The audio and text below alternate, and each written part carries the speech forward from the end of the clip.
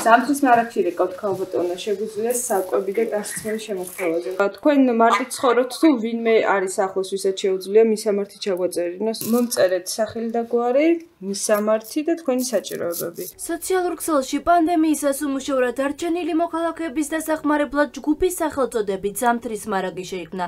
ჯგუფი სამი კვირა არაც არსებობს და უკვე 30000-ზე მეტ ადამიანს აერთიანებს.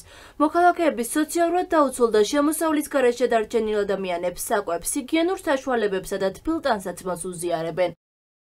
სამთრის მარაგის ორგანიზატორებთან დაკავშირება საკუთარ მარტივია, მაგრამ საუკეთესო მომართვის საშუალებად რჩება პოსტის სახით მოწერა.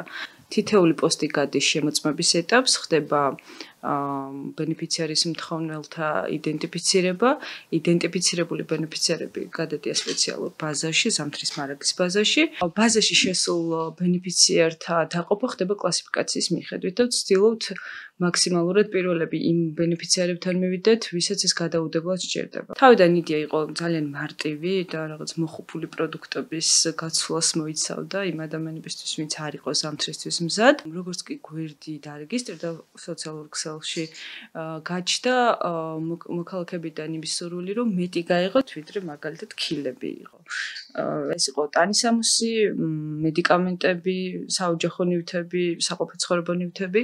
ამიტომ რადგან ამდენ ადამიანს მოუნდა ჩართულობის სურვილი, აღარ შევცვლოდეთ ორგანიზატორებმა და პრაქტიკულად გავშალეთ პროფილი. რამდენიმე ათასიან ჯგუფს 10 ადმინისტრატორი ყავს. მათი ნაწილი მწვავე პანდემიის გამო სახლში რჩება და ჯგუფს დისტანციურად აკონტროლებს. სწორედ მათთან მუშავდება თითოეული ადამიანის პირადი მონაცემები და შემდეგ ნაწილდება კოორდინატორებთან და მოხალისეებთან. ასე იგეგმება შემდეგი დღე. ხანინა. აა, ნინი, ისანი სამბორი გაამწვანე, აკაკი იყო ყველგან და გდანში მიდის გეწუნა ძალიან სასწრაფო არის. რა უშურიანი უჭეხია. მიდის ანუ ყავს მანქანა აღარ გჭირდება მაგ არა, არა. კარგი, კარგი ვამყანებ. კაი, კაი.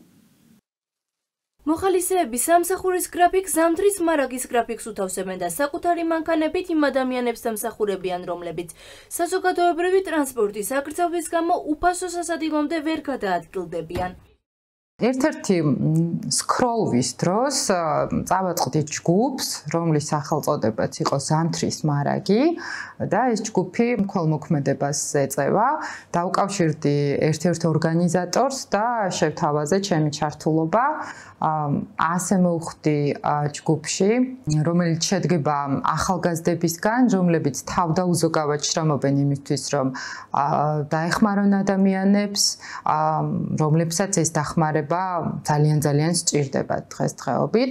მუშაობ ნეიროგავითარების ცენტრში და იმ თავისუფალ დროს, რაც მე მრჩება, ვცდილობ რომ მოვახერხო და მაქსიმალურად ვიყო ჩართული ჯგუფის საქმიანობაში. მე მოგიწოდებთ რომ შემოგვიერთდეთ აა გაწევრიანდეთ ჯგუფში ზამთრის მარაგი, რათა ყველა მერთად მოვახერხოთ და უფრო მეტ ადამიანს დავეხმაროთ. რამდენიმე დღის წინ ჯგუფში ინფორმაცია იზო შოშიაშვილის დასახმარებლად შევიდა. იზო მარტო ხელადედაა, რომელმაც 90-იანებში სამეგრელოში სამოქალაქო ომის დროს ხელი ჭურვის აფეთქებისას დაკარგა. უკვე სამი წელია მიტოვებულ ფარეხში 13 წლის შვილთან ერთად ცხოვრობს. გმილიქარის საცხოვრებელი პირობები განსაკუთრებით მძიმეა. სოციალური დახმარება კი მას საკვებშიც არ ყოფნა. ქვეყნის სამთრის მარაგის მოხალისეთა ჯგუფმა იზოს საკვები, საყოფაცხოვრებო ნივთები და თბილი ტანსაცმელი მიუტანა. გარდა ამისა, ადგილზე მისულ ჯგუფს კარის ნაცვლად ჩამოკიდებული ფარდა დახვდა, რომელიც უმოკლეს დროში მალევე ნამდვილი კარით შეიცვალა. ყავდა დედაც ძმაც გვერდში მედგნენ, რაც ისინი დამეღუპნენ სრულიად მარტო დავჭი ჩემშვილებთან ერთად. შემოვიჭერით აქ, ქირას რომ ვერ ვიხდიდით, იძულებულები გავხდით, გვაწვიმს. აგერ პირდაპირ მიწაზე ვცხოვრობთ, ხალხი გვეხმარება, თქვენაირი კეთილი ხალხი მოდის. მოხალისეებიც მოაქვს ბავშვებისთვის კუსაკვები, ანსაცვლები გვეხმარებიან. ეხლა ესა მაგ პრობლემა როა პირდაპირ მიწაზე ვცხოვრობთ, არცველი წერტილი გვაქვს. და ამაზე ვითხოვ რომ დაგვეხმარონ. ეხლა კარზეც მოვიდნენ ბიჭები, ჩაგვისვამენ. ჩვენი ტკივილი გულთან მიიტანეს და სახში მოხსნა გოგომ. კარი და ჩვენ გვაძლევს დღეს გვიკეთებენ. ასე უკარფანჯროდ ვიყავით მთელი ორი ზამთარი. ხელი დავკარგე ომიანობის დროს 93-ში. უნგერში შევდიოდი დასამალად ხალხი რომ გარბოდა. მეც დამიმალები თქო და აღარ დამცალდა, დავკარგე ხელიც და შვილიც მაშინ მაგ პერიოდში. სამთრის მარაგი სამი კვირის თავზე 400-ზე მეტ ოჯახს დაეხმარა.